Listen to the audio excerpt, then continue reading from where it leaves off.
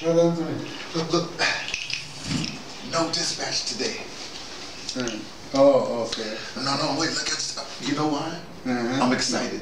Oh. Uh, as you know, I'm an audio dramatist. That's what I am. You know what I'm oh. saying? So anytime I get a chance to do an audio drama, on. You know so what I mean? you, are always dramatic. No, no, no, no. That, that too, but that's not the point. Next Saturday, the, the, the whatever the, the 30th, whenever it is, the end of the month, the international uh, students are going on a field trip.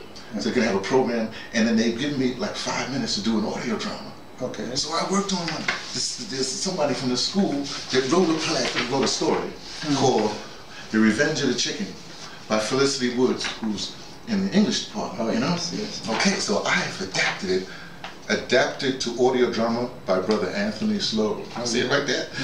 It's a hoot. I can't tell you how good it is. Look, I'm gonna leave you a copy. I'm, uh, maybe I should. Okay. But there's only three pages. It's cool. It's cool. Okay. You know, you got the sound effects. So let me, let me, let me, give you some a, a little highlight. One of the things, the chickens, right? Hmm. They're revolting. They have a struggle song. Hmm. So the, the, the audience particip I always have audience participation.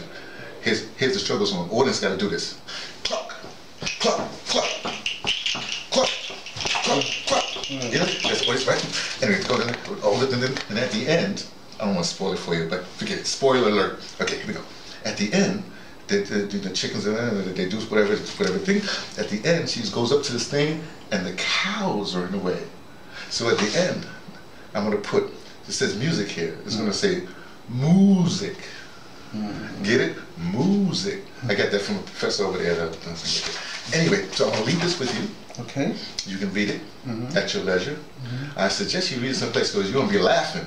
So don't be down here in the library because you'll be disturbing the students. You see what I'm saying? Mm-hmm. So here you go, and I see you next week or, Friday for dispatch. Because this hasn't been a dispatch. Yes, yes. It's just me and you, you know, shooting the breeze. Oh, yeah. or me alerting you there's gonna be something fantastic going on next week. Thank you.